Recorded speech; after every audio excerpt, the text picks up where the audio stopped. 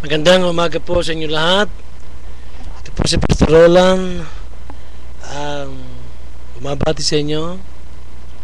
Lalo, sana po nasa mabuti kayong kalagayan, aking mga kababayan, mga Pilipino sa buong mundo, lalo na, lalo na po dyan sa ating bayan, sa Pilipinas. Ang aking pong uh, mensahe ngayon, Apollo Kibuloy, kanang kamay ni Satanas sa Davao. Ang isa pong ating mensahe si Eliseo Soriano, kanang kamay ni Satanas sa Apalit. At ngayon po si Apollo Kibuloy naman. Bakit ko po sinasabi ito? Kayo ng mga miyembro ng mga kultong ito, dapat yung malaman ng katotohanan. Kung di nyo iiwanan ng mga taong yan, sugado may impyerno kayo. Ang tatlong ito, Apollo Kibuloy, Eliseo Soriano, at Tirayan Manalo, ang kulto ng mga kutlo, ang mga kulto ng mga kulto. Ang tatlong ito ang ginamit ni Satanas para milyong-milyong kaluluwa ang pumunta sa impyerno at milyong-milyon pa ang pupunta. Kayo po, Apollo Kibuloy, kung sakaling mapanood nyo ang video nito, napakakapal po ng mukha ninyo. Masabihin nyo na kayo ang appointed son of God. Nahihibang po kayo. Nananaginip kayo ng gising. Hindi nyo nalalaman ang ginagawa ninyo. Sana po gumising na kayo sa pagkabangungot ninyo. Unang-una po, saan po mababasa sa Biblia na nag-a-appoint ang Diyos ng kanyang anak? Napakalawanag po sa uh, John chapter 1 verse 12. To those who receive Him, Jesus Christ, power was given to them to be called a Son of God. Hindi po ba? Ito po mga kalokohan kabalbalang pinagagawa ninyo, Apollo Kibuloy, kahit ang demonyo! Hindi niya kayang gawin ito. Pinaniwala niyo ang mga tao na kayo ang appointed son of God na ngayong Gentile setting. Meron kayong Gentile setting, meron kayong Jewish setting. Sa impyerno po ba ninyo pinagkukuha ang mga katuruan na ito? At sinasabi niyo na kayo ang conduit, kayo ang mouthpiece ng Diyos, kayo ang templo ng Diyos, na kayo ngayon ang, uh, ang halimbawa ng Diyos. Na kung hindi makikinig sa inyong mensahe, ay walang kaligtasan, napakakapal ng mukha ninyo. Ginoong Apollo Kibuloy. Kahit sampung impyerno, Apollo Kibuloy, hindi ka makakatakas sa galit at buot ng Diyos. Sobrang kasamaan mo. Ang mga kaluluwa sa impyerno na dinala mo ngayon ay humihingi na ng katarungan. Apollo, Kibuloy, blasphemy after blasphemy, blasphemy ang pinagagawa mo.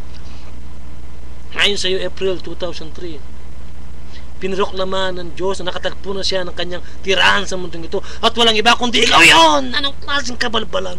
Kalokohan to. Ang ibig mo sabihin Apollo Kibuloy naghintay muna ang Diyos ng bilyong-bilyong kaluluwa nang pumunta sa impyerno bago niya impusan ng kanyang kaligtasan. At dahil pa sa iyong website Apollo Kibuloy magiging walang kwenta ang kamatayan ni Jesus. Hindi siya pwede makapagligtas wala siya makikita ng tirahan at ikaw ang tirahan niya Apollo Kibuloy. Naniniwala po ko na appointed son nga kayo. Pero appointed son of Satan! Gumising na po kayo sa pagkakatulog ninyo. Napakarami ng kaluluwa! Ang nasa impyerno ngayon dahil sa mga kalokohan kabalbalan ninyo. Kayong tatlo! Apollo Kibuloy, Eliseo Soriano, Eranio Manalo! Kahit tigsasampung impyerno! Kulang pa na paglagyan sa inyo sa dami namang kasalanan ginawa nyo sa Diyos at saka sa mga tao. Itong pinagagawang kalokohan ninyo, Apollo Kibuloy. Sinabi nyo na napunta kayo dyan sa Kitbog at Tamayong, nagsibak kayo ng kahoy, nagkumain kayo ng saging at kamuting kahoy, tapos biglang-bigla naging appointed son of God kayo? Kalokohan, kabalbalan, kasi nungalingan, Apollo Kipuloy, sampung demonyo ang nakatira ngayon sa iyo. Pinagsasabi mo sa mga tao ng Davao City ang bagong Jerusalem. Kalakohan kabalbalan. Biglang nalipat ang Jerusalem dyan sa Davao City. Nakapagpatuyo ka lang ng mga magagara, magagandang mga gusali, na hindi mo naman pera ang pinampagawa mo, kundi pera ng mga taong nauto mo, naloko mo, nadaya mo. Biglang-bigla naging Jerusalem ang Davao City. Biglang-bigla kayo na ang mga chosen people of God ngayon. Kayo na mga Israelitas. Kalokohan, kabalbalan, kaibangan. Apollo Kibuloy, sampung impyerno, kulang pa na paglagyan sa'yo sa dami namang kasalanan pinagagawa mo. Magsisi ka na bago maghuli ang lahat. Apollo Kibuloy. Bumalik ka sa Diyos at kung sakali, magsisikat patawarin ka ng Diyos. Mabuti. Yan naman talagang gusto nating lahat, di ba? Pero kung di ka napatawar ng Diyos dahil sa mga kasalanan, kabalbalan, kalokohan, kaibangan ng mga pinagagawa mo, at least kahit papaano, bago ka mamamatay, makakagawa ka ng mabuti sa iyong kapwa. Maawa ka sa mga kaluluwa po, Lord Kibalon. Maawa ka sa mga tao.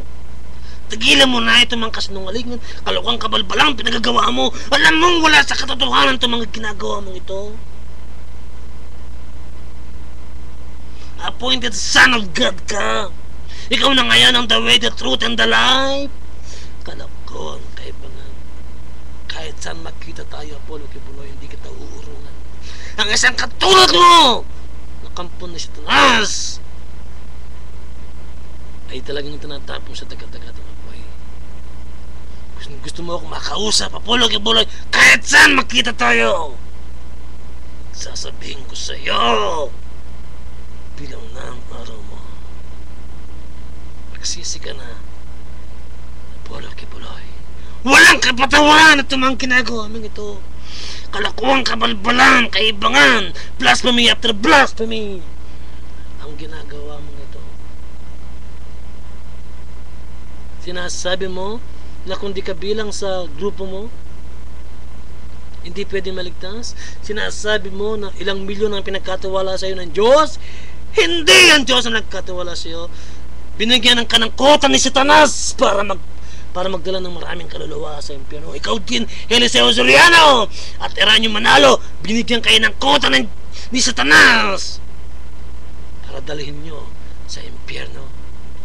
At kayong tatlo, huwag kayong mag-ambisyon na bibigyan kayo ng special treatment ni Satanas dahil sa paglilingkod nyo sa kanya.